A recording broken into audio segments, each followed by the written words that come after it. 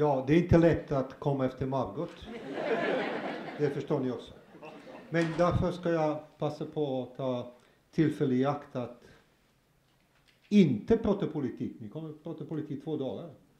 Men jag kommer att säga att det var, jag hoppas att eh, inte allihopa, men väldigt stor procent av er kommer att uppleva samma situation uppleva 40-årsdag.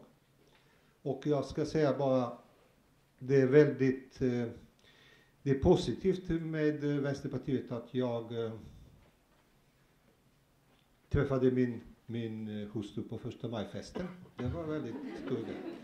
Det andra, vi har väldigt svår uppgift, som ni inte är medvetna om det, det är att vi som jobbar politiskt, speciellt vänsterpartister, att eh, vi ska jobba som troende och tänka som skeptiker samtidigt. Och det är inte det lättaste.